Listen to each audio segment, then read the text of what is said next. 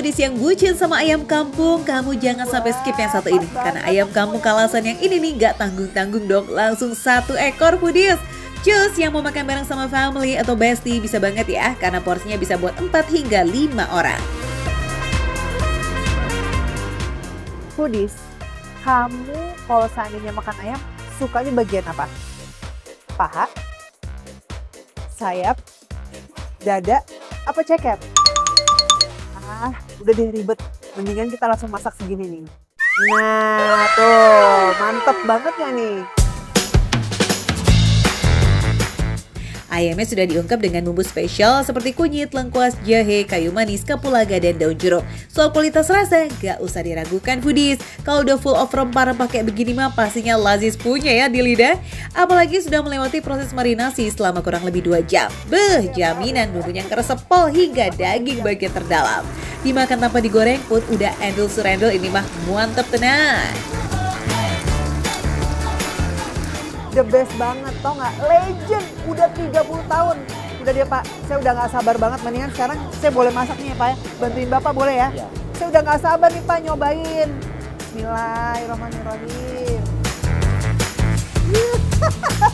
Wah, definisi makan besar ya virus. Kebayang nggak tuh foodie super jumbo? Eh, kira-kira bakalan habis nggak tuh ya virus kalau makan alone? eh, tapi tenang-tenang, bisa take away kok ya kalau nggak habis. Pak, ini biasanya kalau ngegoreng kayak gini berapa lama, Pak? Paling kalau minyak panas kayak gini paling nggak ada 10 menit. Nggak ada 10 menit, iya. ini udah langsung matang ya, Pak ini ya? udah matang. Dibolak-balik. Iya. Oh, langsung, itu iya. udah matang? Iya, udah matang. Udah matang, Budis tuh. Iya tuh, udah matang. Wow. Oh, ini enak banget. Biasanya kita ini. Wih, ayam kampung tuh emang gak pernah gagal ya. Apalagi kalau pakai bumbu otentik dari Haja Suharti nih Foodies. Jaminan lazis maksimal. Secara warna yang satu ini kan masih menempati tahta tertinggi sebagai ayam goreng terlazis sejaksel. Hmm, wajib coba nih ya buat warga Jaksel. uh, tuh Foodies, lihat nggak? Aduh, duh, duh, duh, duh. Aduh, Foodies. Aku nggak sabar nih pengen makan. Yuk, buruan. Buat kamu yang gak mau beli ayam utuh, beli per potong juga bisa banget ya foodies. Paket nasi plus ayam cuma 35 ribuan aja. Udah pasti kenyang kalau makan di sini. Apalagi kalau dicampur dengan sambal merahnya. Wih, makin way away, ini lazis. Sekarang aku mau makan dulu ayamnya. Tara. Wah, pas banget aku mau yang ini. Hmm. Enak beneran. Ternyata dia udah dibumbuin dari rumah karena bumbunya tuh bener-bener meresap sampai ke dalam banget dan empuk perpaduan empuk crunchy rasanya makan begini aja udah enak apalagi pakai sambal nih mau cobain sekarang Baru senggol ayamnya aja, endulnya udah kelewatan ya virus. Dagingnya tuh super lembut, tapi kulit bagian luarnya garing goodies. Pokoknya mah terbaik, kesan pertama nih pas masuk ke mulut beneran bikin baper. Alamat gak mau berhenti makan ini mah, aduh gawat.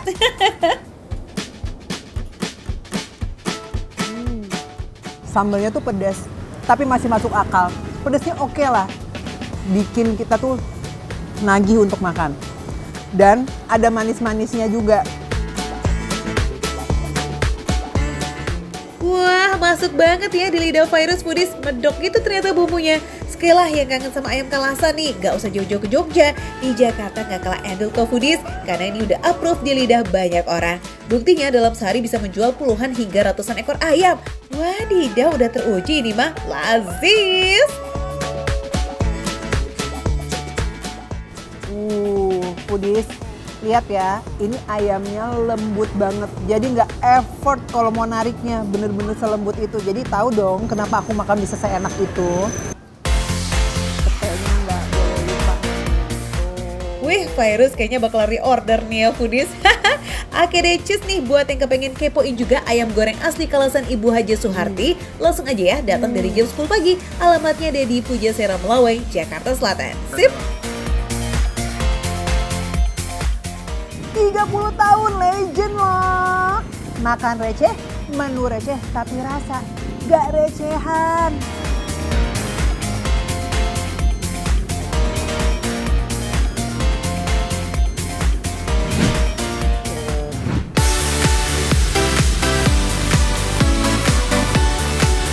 Foodies, pernah dengar jajanan yang namanya basmut nggak? Yes, betul. Basmut itu singkatan dari bakso imut. Tapi ini bukan bakso dengan kuah gitu ya. Agak lain nih emang bakso yang satu ini. Hai foodies, sekarang aku udah ada di Basmut Pizza. Ini tuh lihat deh, aku lagi menyiapkan basmut. Ini sebenarnya toppingnya apa akan ada apa aja nih di atasnya? Karena ini pizza ya, pasti akan ada mozzarella gitu-gitu. Sosis, Heeh. nanas, Nanas. Oh ini ya toppingnya ya. Oke foodies, sekarang aku langsung mau mempersiapkan ini eh, pakai toppingnya. Di atasnya ya.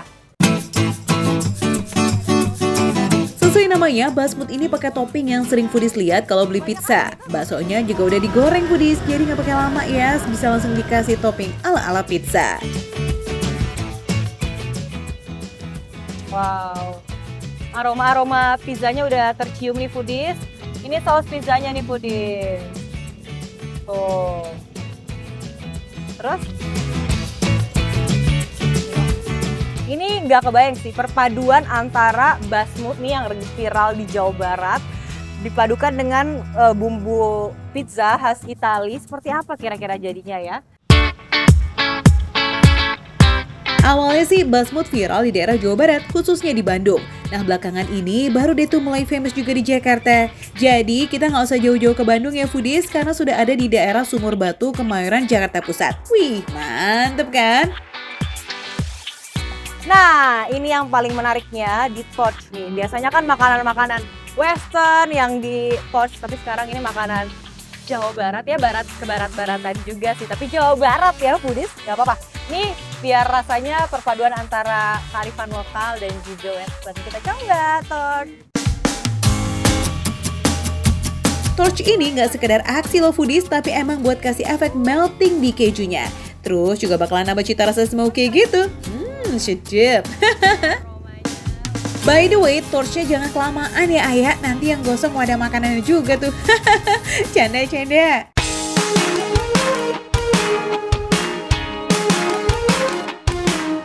Foodies, sekarang aku sudah bersama makanan-makanan yang tadi udah aku pesen. Nih, udah lengkap semua. Yang pertama yang tadi udah aku bikin secara mandiri ya, dibantu oleh abangnya. Ini uh, udah di torch dan ada mozzarella mozzarella yang melt meltnya. Ini basmutnya. Uh, kita coba ya foodies dengan segala topping pizzanya ini.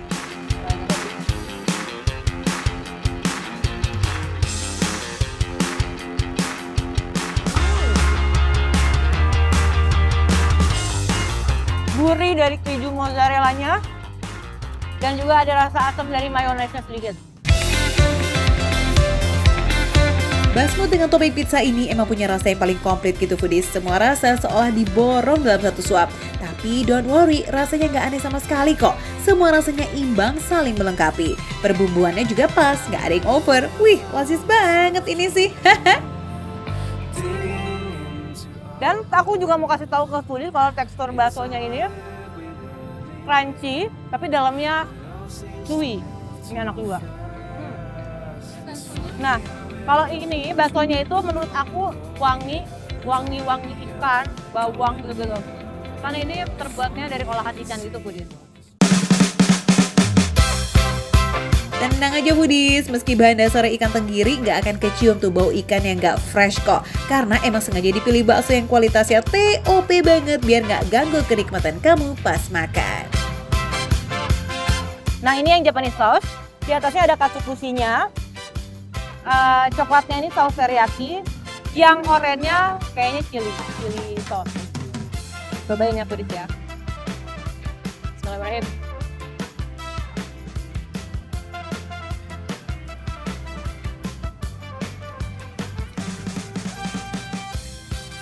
Menurut aku ini juga agak pedas. Ini rasanya lebih simple. Jadi cuma ada pedas manis aja gitu. Karena dia nggak ada mayonesnya dan bumbu terayakinya juara. Enak, berasa banget. Jadi bukan bumbu teriyaki yang ala-ala, tapi ini yang menurut aku dia pilihnya yang enak.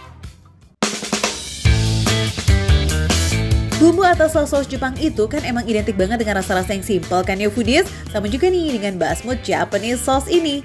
Biar simple, biasanya yang kayak begini nih emang yang ngena banget di hati ya. Selain dari saus, foodies juga bisa menikmati rasa gurih dari taburan katsubushinya. Ada tambahan aroma wangi juga tuh dari taburan biji wijen. Hmm, it's so yummy. eh, eh, makan yang basmut Japanese sauce ini jadi keinget sama takoyaki gak sih foodies? Selanjutnya kita cobain yang chili oil. Di atasnya juga ada potongan pangsit gorengnya nih foodies ya. Nih, kayak gini. Jadi menurut aku ini akan menambah kecrunchyhan dalam basmut ini. Dan aku rasa chili oil juga bakal pedes sih. Mari kita coba ya. Basmut, chili oil, dan kulit pangsit gorengnya.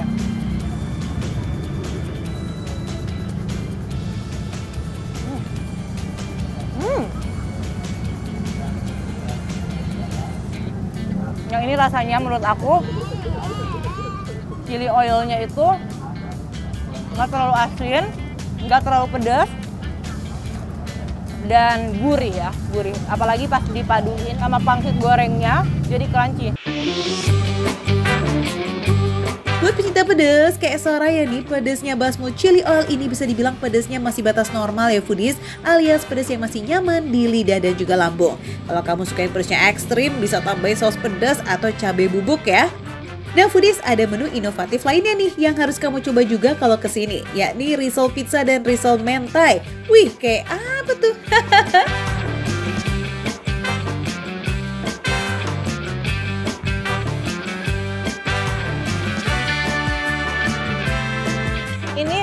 risol pizzanya menurut aku rasanya nggak terlalu pedas jadi kalau tadi kan basmutnya pedas ya kalau ini nggak terlalu pedas dan surprisingly ini pizza banget Budi. Jadi oke okay lah bentuknya risol. Tapi kalau feelingnya tuh bener-bener pizza. Pizza banget. Terus topping di dalamnya tuh lihat ada saus pizza ada sosis terus ada kayak black pepper gitu sama ada sayur-sayur yang bawang bombay gitu-gitu. Nah luarnya ya kulit risol, foodies. Kulit risolnya tipe yang nggak terlalu tebal gitu ya foodies, tapi isiannya tetap full dong. Sama juga nih dengan risol isian mentai. Bukan cuma ada saus mentai aja loh ya foodies, ada smoked beef dan juga potongan telur rebusnya.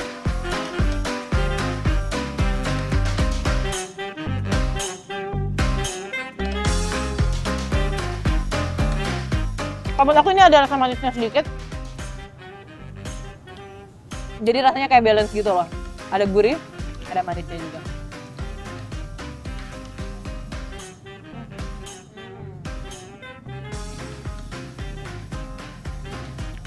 Isinya, isiannya yang mentai, menurut aku kids friendly banget. Jadi dijamin anak-anak juga bisa makan ini dan bakalan suka.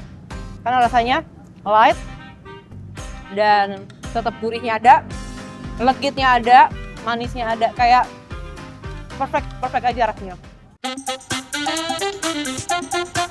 Penasaran sama harganya ya? Nih kita bisikin ya, tau nggak? Untuk basmutnya mulai dari 15.000 aja foodies, sedangkan buat risol harganya cuma 3.500. Wah receh ya foodies.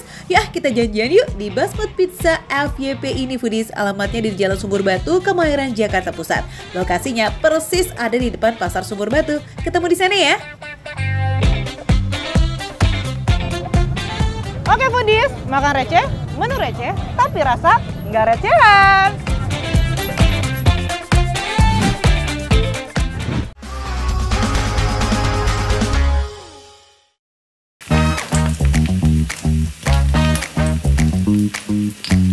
Foodies, pecinta iga bakar dan bumbu khas Indonesia yang kaya banget akan aneka rempah. Nah, kalian pasti cocok banget nih sama makanan lazis yang satu ini, Foodies. Ada iga rempah lazis di Jalan Condet Raya, Jakarta Timur. Bareng sama Devri Julian, sekali langsung aja kita kepoin ke dapurnya. Mumpung ada yang lagi ngebul-ngebul tuh and smells good. Kebetulan sekarang saya lagi lapar banget nih Pudis. Tadi saya bingung nih, kira-kira mau makan apa ya? Nah, kebetulan sekarang saya ada di Rojo Iga Rempah, tempat yang lagi viral nih Pudis. Langsung aja kita eksekusi Pudis. Foodies, potongan daging bagian iga atau tulang rusuk disajikan setelah direndam dalam bumbu khas yang mengandung rempah-rempah dan juga bumbu dapur lainnya untuk memberikan cita rasa yang enak. Bumbunya terbuat dari apa ya? Dari bumbu rempah-rempah itu kalau nggak salah Oh. ada 100 100 bahan rempah-rempah. Oh, wow, Foodies banyak sekali ya. Ternyata ini tuh eh, banyak mengandung rempah-rempah Foodies. Ada 100 lebih kurang rempah yang dicampur di dalam ini. Aduh, lupa tuh. Oke, langsung kita eksekusi aja ya Mas ya. Hmm, dari bumbunya aromanya enak banget nih Foodies. Wow, nggak heran ya kalau nama warungnya Rojo Iga Rempah. Karena rempahnya memang double kill, baik dalam racikan bumbu alisnya maupun bumbu ungkepnya. Nah foodies, karena iga sebelumnya ini udah diungkep, jadi proses pematangannya nggak perlu pakai lama. Hanya 5-10 menit aja kok, sampai bumbunya ngeresep dan ada rasa smoky di daging iganya. Wih nih. Wah Budis, aroma bumbunya udah mulai keluar nih Budis. Wah. Berarti kalau dibalik ya? Siap. Proses pemanggangan memberikan rasa gurih dan juga aroma khas ya foodies pada daging, sementara bumbu yang ngeresep itu membuatnya menjadi rasanya lebih lezat. Pokoknya pastiin proses bolak-balik jangan lupa ya, supaya nggak gosong dan rasanya pahit sebelah nanti. Aduh gawat. Gak cuma iga loh, ada butut bakar bumbu rempah juga yang katanya jos juga nih dari warung ini foodies. Prosesnya hampir sama, diungkep dulu bersama rempah hingga beberapa jam barulah lanjut dibakar. Budis, nih iga sama buntutnya baru aja selesai dibakar Budis. Sekarang kita langsung masuk ke dapur peracikannya. Nih di sini depan saya udah banyak bumbu-bumbuan nih Budis nih. Tuh. Hmm, dari visualnya aja foodies iga bakar dan butut ini udah sedap pakai banget. Apalagi step terakhir nih, lanjut dikasih bumbu rempah ekstra dan dipanaskan di hot plate. Jadi pas sampai ke tangan pembeli, iganya masih hangat foodies. Wih, mantap. Widih, coba lihat Pudis, penampakan setelah dihangatkan. Tapi ini belum dikasih bumbu loh Pudis. Apalagi udah dikasih bumbu, pasti makin estetik lagi penampakannya Pudis. Ayo mas, langsung kita kasih bumbunya. Yuk, tadi kan ada beberapa beberapa rasa ya. Ada Iya. rasa kecap, Kecap, rempah, rempah, sama sama mercon. sama mercon. Foodies, seporsi iga lazis dengan bumbu yang luber-luber kayak begini harganya nggak sampai ratusan ribu loh. Iya, masih dompet friendly banget lah pokoknya.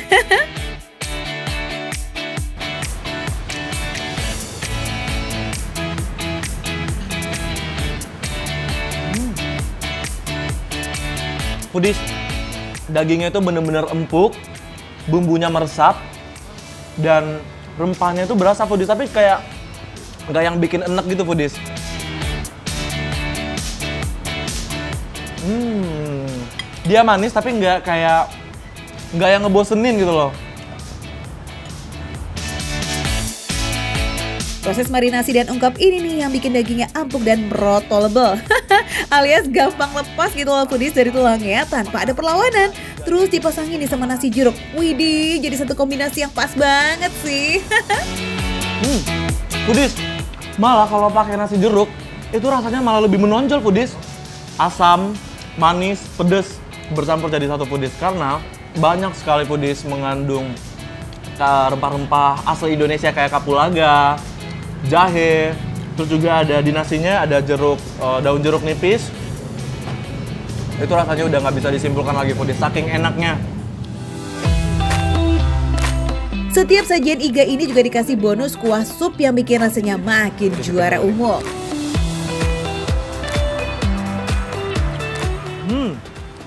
Rasanya itu kayak eh, sop-sop yang kayak akar rempah gitu, Pudis.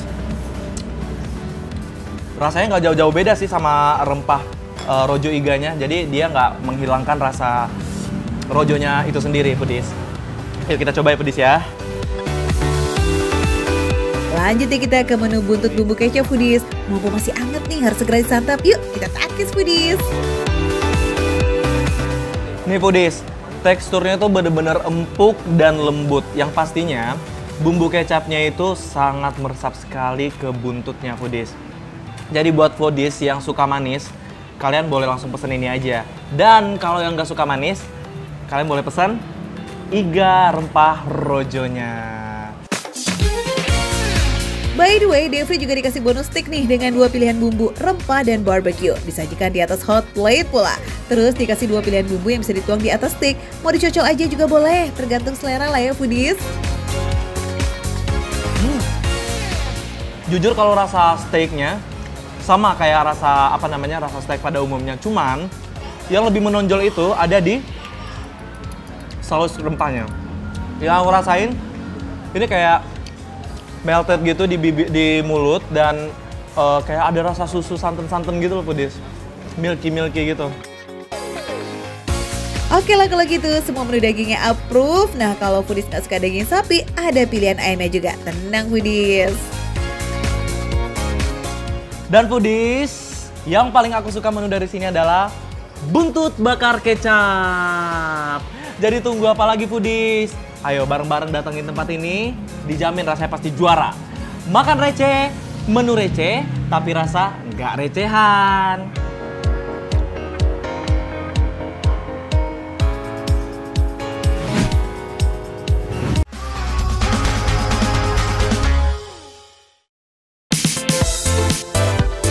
Malam-malam barbekyuan, kayaknya seru nih ya foodies. Apalagi barbekyunya di pinggir jalan di negeri Kelantan. Ih cakep. Penasaran kan gimana serunya? Yuk kita ikut si Ade aja nih foodies. Foodies, ini saya lagi ada di Taman Hijau, Kota Baru, Kelantan, Malaysia.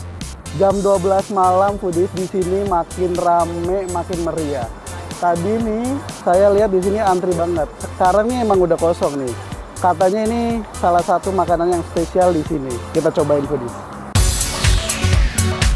Beneran loh foodies, kota baru ini makin malam makin rame terutama perkulinerannya. Meski tengah malam kayak begini, di sini tuh masih aman gak ada gangguan.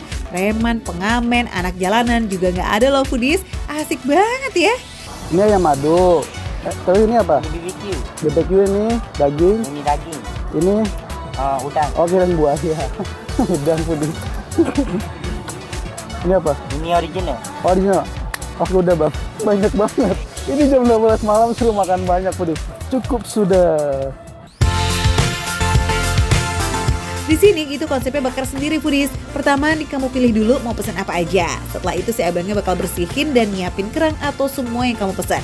Habis itu baru deh tuh ready to grill. Jadi disiapin dulu Foodies, dicuci dulu kerangnya.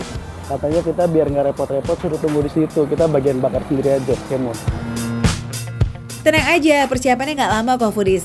Nah tuh baru aja 5 menit langsung ready. Saatnya kita bakar-bakar skuy. Nah ini Foodies.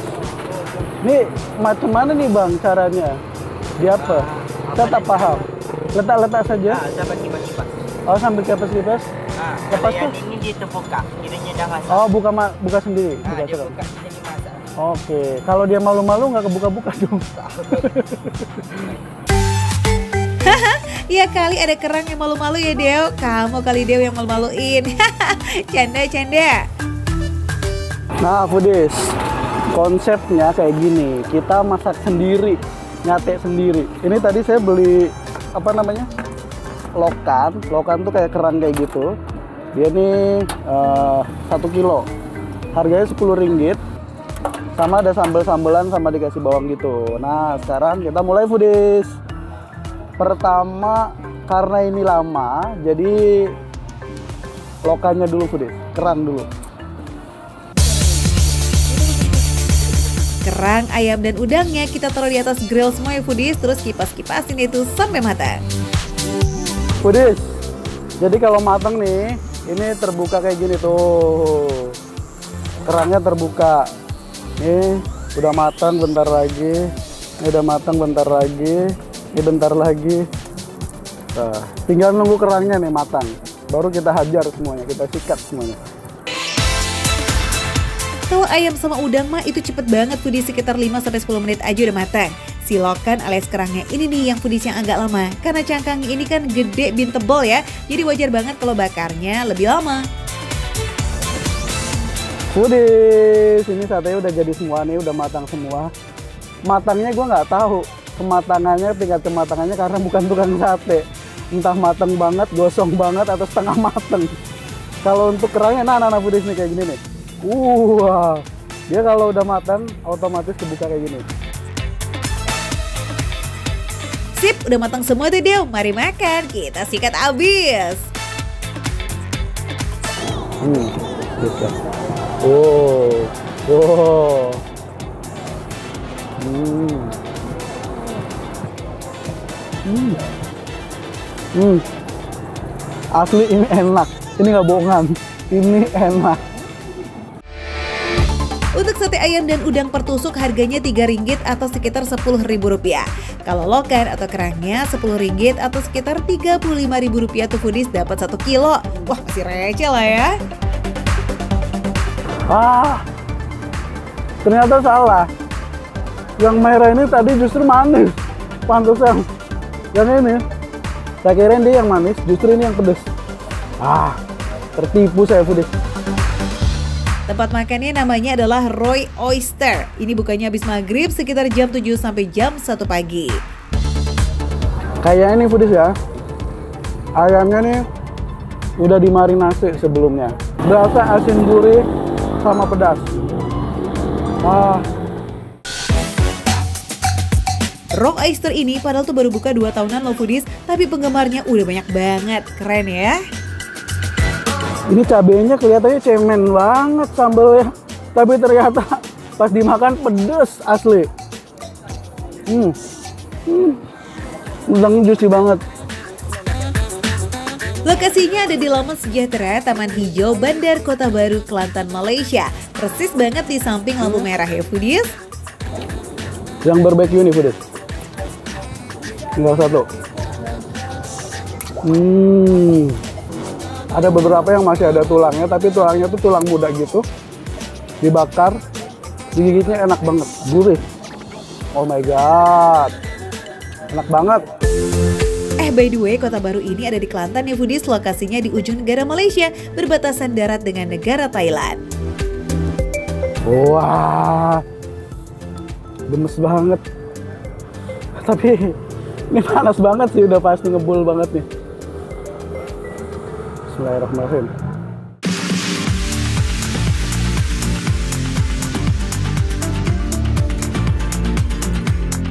Asli. Kerangnya nih meski eh, apa namanya kelihatannya tempatnya nih agak eh, kotor gitu tapi dalamnya bersih nggak bau amis dan ini setengah matang kayak gitu jadi buat saya juicy enak ya sempurna lah pokoknya For your info foodies, Kelantan adalah negara bagian Malaysia yang nilai-nilai Islamnya tuh kental dan masyarakatnya sangat religius. Kalau di Indonesia, kayak Aceh gitu loh foodies. jadi kerangnya ini nggak ada kotorannya sih bersih nggak bau amis juga